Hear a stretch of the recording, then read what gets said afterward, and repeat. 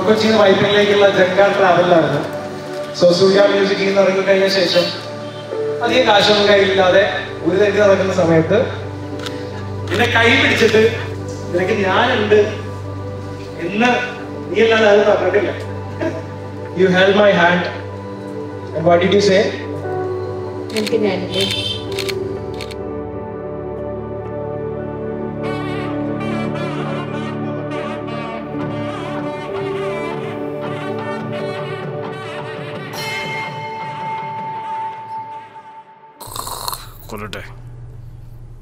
കൊല്ലട്ടെ.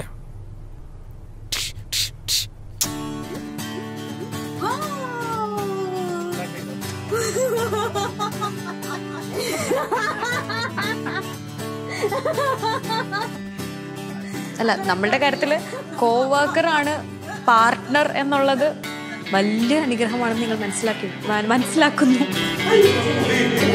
എല്ലാവർക്കും ആ അനുഗ്രഹം കിട്ടും. എനിക്കറിയില്ല. ഒരേ കാര്യം ഇഷ്ടമുള്ള കാര്യം ചെയ്യുന്ന കാര്യം. ഭയങ്കര ഹാപ്പി ആയിട്ട് എല്ലാ കാര്യവും ഓപ്പണായിട്ട് ഡിസ്കസ് ചെയ്യാൻ പറ്റുക. തെറി പറയണമെങ്കിൽ പറയാൻ പറ്റുക. വേറെ ആരുടെ അടുത്ത് പറഞ്ഞാൽ പോയി പണിയൊക്കെ പറയും. ഇതാകുമ്പോൾ പറയാലോ. മീറ്റ് ചെയ്തത് സൂര്യ മ്യൂസിക്കിൽ വെച്ചാണ്. പാരയാണെന്ന് വിചാരിച്ചു പക്ഷെ നല്ല രസമായിരുന്നു. അവിടെ തൊട്ട് തുടങ്ങിയ വൈബ ഇവിടെ വരെ എത്തിയത്. അപ്പൊ സത്യം പറഞ്ഞ എന്താ ചെയ്യേണ്ടെന്ന് ഒരു ഐഡിയ ഇല്ല. കാരണം ഫിനാൻഷ്യലി നമ്മളപ്പോൾ ഏറ്റവും സെറ്റല്ല യൂട്യൂബ് സ്റ്റാർട്ട് ചെയ്യുന്നേ ഉള്ളൂ. അപ്പൊ അങ്ങനെ വരുമാനമൊന്നും ആയിട്ടില്ല. നമ്മൾക്കൊരു പണി ചെയ്യാം. എടാ എല്ലാ ദിവസവും നമുക്ക് ലൈവ് പോയിട്ട് വീഡിയോസ് ചെയ്യാം. നമുക്ക് ഭയങ്കര ആക്റ്റീവ് ആവാം. ഇത് ഇതിൽ തന്നെ കോൺസെൻട്രേറ്റ് ചെയ്ത് ഒരു വർഷം ഹാർഡ് വർക്ക് ചെയ്യാം. എന്നിട്ട് നടന്നില്ലെങ്കിൽ പിന്നെ വേറെ എന്തെങ്കിലും ആലോചിക്കാന്ന് പറഞ്ഞു. ആ ഒരു വർഷം ഭയങ്കര ചേഞ്ച് ഉണ്ടായി.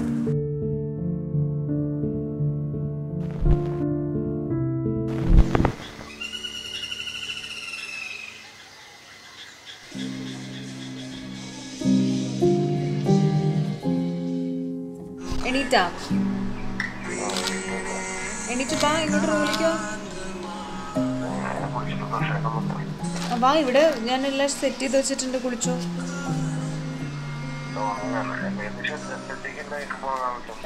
എടാ നീ റെഡിയായ അപ്പൊ തുടങ്ങി. എന്റെ തീരൂടാ ആക്ച്വലി ഫസ്റ്റത്തെ എപ്പിസോഡ് അപ്ലോഡ് ചെയ്യുന്നത് എന്റെ വീട്ടിൽ നിന്നാണ് അതായത് എന്റെ വീട്ടിൽ ഇമ്മൽ ചോദിക്കാൻ വന്നിരിക്കുക ജിസ്മേൻ എനിക്ക് കെട്ടിച്ചേരുമെന്ന് ചോദിക്കാൻ വരുന്ന സമയത്ത്. അവിടെ കക്കാടംപോലി വെച്ചിട്ടാണ് ഫസ്റ്റ് എപ്പിസോഡ് അപ്ലോഡ് ചെയ്യുന്നത്. അത് തന്നെ ഞങ്ങൾക്ക് ഭയങ്കര പോസിറ്റീവ് സൈൻ ആയിരുന്നു. കാരണം ആദ്യമായിട്ട് ഞങ്ങളുടെ ഒരു സീരീസ് ഭയങ്കര റീച്ചായി രസമാണ് ഹിന്ദു പറവരുള്ള ഹായ് ആ, ആ അപ്പം കുറച്ച് ദേഷ്യക്കാരനാണെന്നുള്ളത് ജിസ്മ പറഞ്ഞിട്ടുണ്ടായിരുന്നു. പിന്നെ ഒബ്വിയസ്ലി ഈ വ്യക്തിയുടെ അച്ഛനല്ലേ. അപ്പോൾ അത് കാരണം സ്നേഹം ഉണ്ടാകുന്നുള്ളത് ഉറപ്പാണ് അപ്പോൾ പക്ഷെ ഞാൻ എന്നാലും സ്നേഹം നടക്കാൻ വേണ്ടി എന്റെ നാലഞ്ച് കൂട്ടുകാരായിട്ടാണ് പോയത്. നമ്മൾ കൂട്ടുകാരൊക്കെ ആയിട്ട് സുഖട്ടെ അപ്പ ആദ്യം ചോദിച്ചാ പെണ്ണ് ചോദിക്കാൻ വരുന്നത് ഇങ്ങനെയാണോ? വീട്ടുകാരായിട്ടാണോ കൂട്ടുകാരായിട്ടാണോ പെണ്ണ് ചോദിക്കാൻ വരണ്ടേന്ന്? പെണ്ണെ ചോദിക്കാൻ വന്നു. അവൻ ചോദിച്ചു ചോദിച്ചപ്പോൾ ഞാൻ പറഞ്ഞു ഇപ്പൊ തൽക്കാലം നടക്കലെന്ന് പറഞ്ഞു. നടക്കലെന്ന് പറഞ്ഞു എനിക്ക് ആലോചിക്കണം ടൈം വേണം എന്ന് പറഞ്ഞു.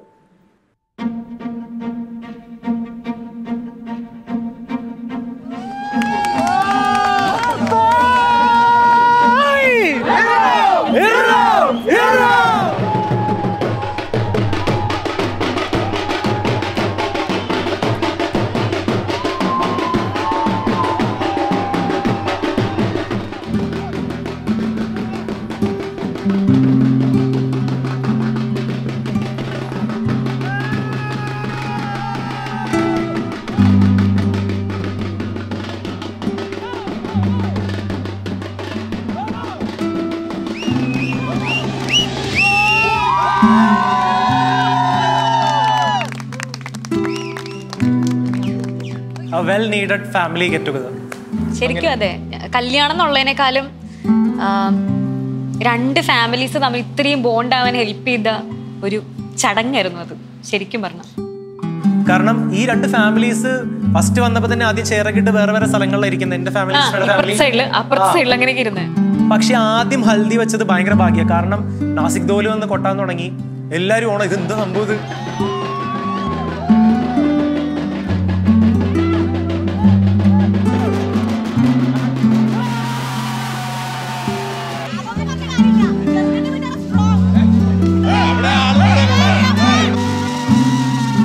ഫാമിലി വേണമെന്ന് തന്നെ നമ്മൾ ആലോചിച്ചിട്ടുണ്ടായിരുന്നു.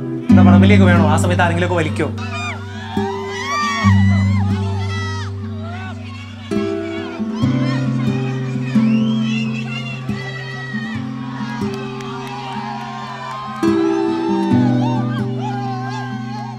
ഞങ്ങൾ എന്റെ അച്ഛനും അമ്മയും രണ്ടുപേരും വർക്കിങ്ങാണ് അപ്പോൾ അത് കാരണം നമുക്ക് അങ്ങനത്തെ ഒരു മൊമെന്റ് എപ്പോഴും ഉണ്ടായിട്ടുള്ളൂ ഒരു ഞായറാഴ്ചയൊക്കെ വന്നു കഴിഞ്ഞാൽ മേ ബി അവർ റെസ്റ്റ് എടുക്കാനേ നോക്കുള്ളൂ.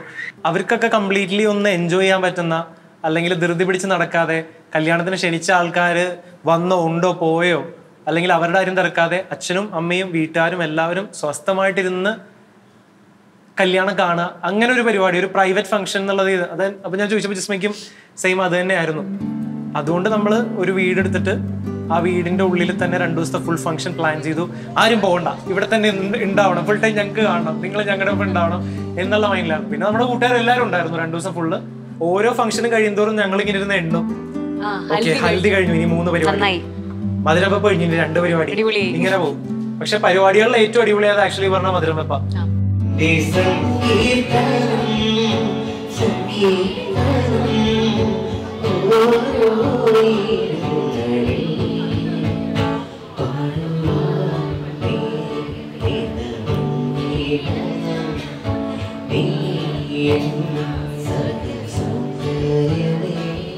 ഇഷ്ടമായിരുന്നു മകളായിട്ട് കുടുംബത്തിൽ ഇഷ്ടമായാലും എനിക്കല്ല ഇഷ്ടമാണ്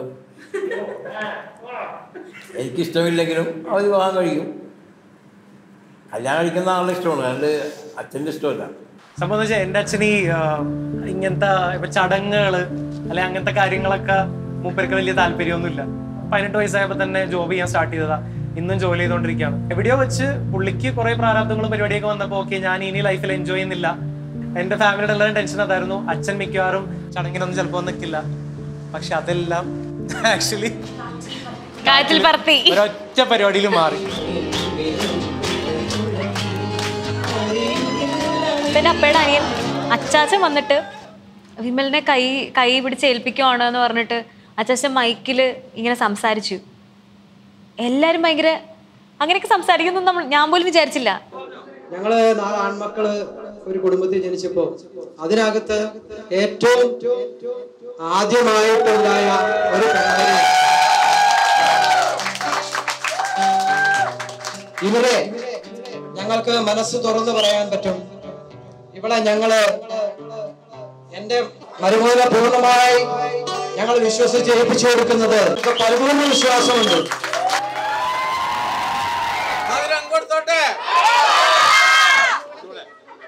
Aguirre Cortote.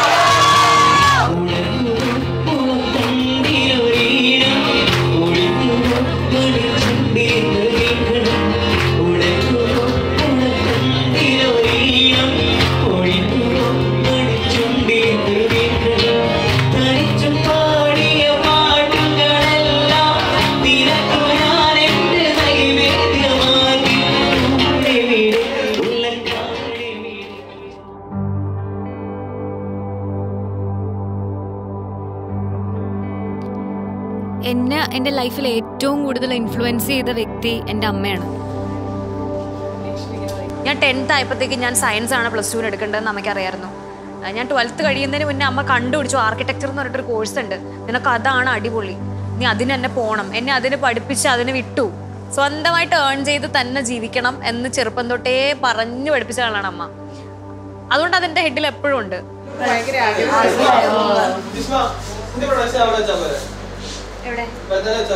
അവൾ കൊച്ചായിരുന്നപ്പം തുടങ്ങി നല്ലൊരു ഇത് നിലയിലേക്ക് എത്തണമെന്ന് എനിക്ക് ആഗ്രഹം ഉണ്ടായിരുന്നു അതുകൊണ്ട് ഞാനിങ്ങനെ ഓരോ ഇതും കഴിയും തോറും നോക്കി നോക്കിയിരുന്നു ഏതിലാണോ അവൾക്ക് ടാലന്റ് ഉള്ളത്? അങ്ങനെ നോക്കി.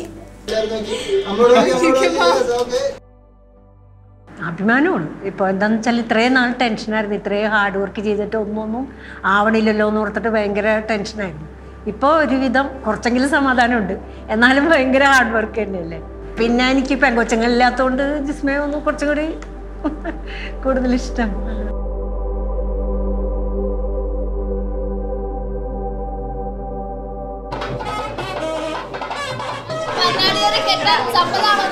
സമ്മതാണോ? കെട്ടാൻ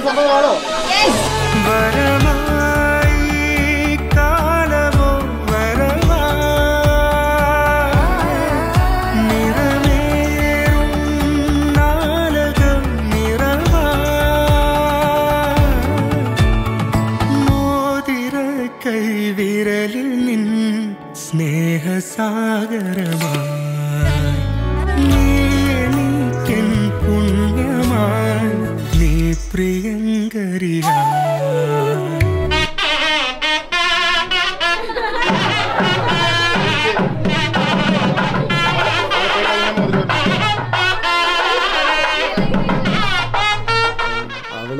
കല്യാണത്തിന് മുമ്പുള്ള ദിവസങ്ങളിലൊക്കെ ഭയങ്കര സ്ട്രെസ്ഡായിരുന്നു ഞാൻ പക്ഷേ നേരെ ബാച്ചിലർ ട്രിപ്പിന് പോയി. ഫ്രണ്ട്സിന്റെ ഒപ്പം. അപ്പോൾ ഞാൻ അവിടെ ഉണ്ടായിരുന്നില്ല. ഞാൻ ട്രിപ്പൊക്കെ കഴിഞ്ഞ് വന്നപ്പോഴത്തേക്കും ജസ്മ ആകെ പ്രാന്തൊക്കെ പിടിച്ചിരിക്കുന്ന അവസ്ഥയാണ്. നീ ഒന്നും നോക്കുന്നില്ലല്ലോ. ഞാനാണ് ഫുൾ പ്ലാൻ അഞ്ച് അഞ്ചു ദിവസം കല്യാണത്തിനുള്ളൂ. നിനക്ക് എന്തെങ്കിലും ബോധമുണ്ടോ? നിനക്ക് എന്തെങ്കിലും ഉത്തരവാദിത്തമുണ്ടോ? എന്ന് എന്റെ അച്ഛന് ശേഷം ജിസ്മയാണ് പറഞ്ഞത്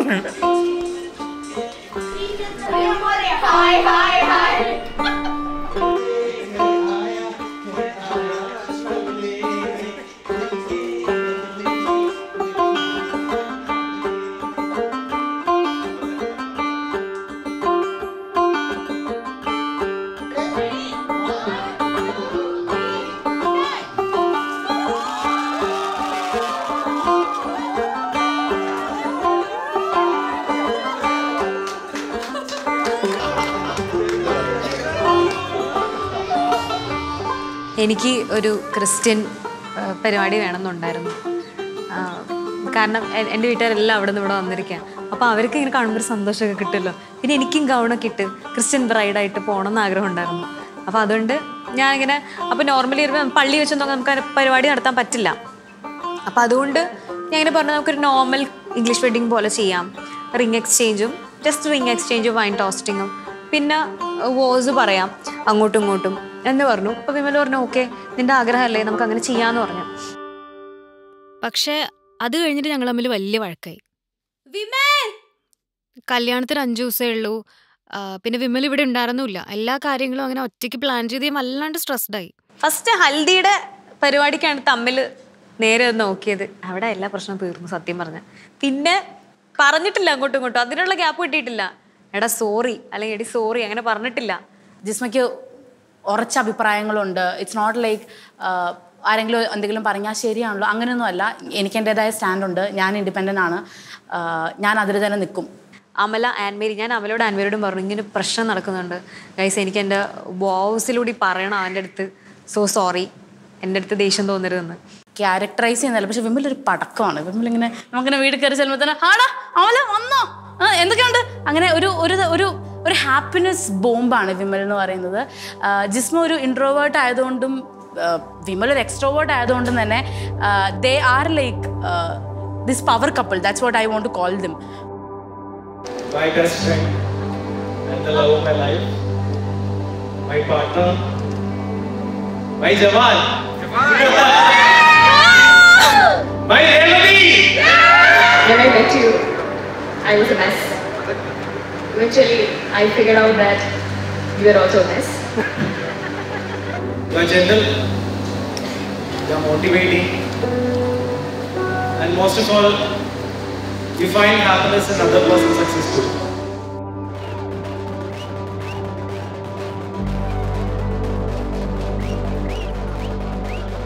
എന്ത് വിഷമം ഉണ്ടായപ്പോഴും എന്ത് ഹാർഡ് സിറ്റുവേഷൻസ് ഉണ്ടായപ്പോഴും ഉറക്കമില്ലാതിരുന്നപ്പോഴും അല്ലേ റിസൾട്ട്സ് ഇല്ലാതിരുന്നപ്പോഴും അല്ലേ പൈസ ഇല്ലാതിരുന്നപ്പോഴും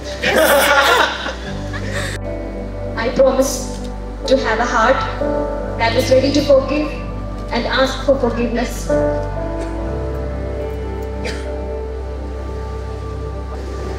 One thing, one thing I promise you is that I will be your biggest supporter always. No matter how big your dreams are. Thank you, Jisma Jiji. Please be my best friend always. I promise that we will explore and find new places in our life and never get bored of each other. I love you and will love you forever.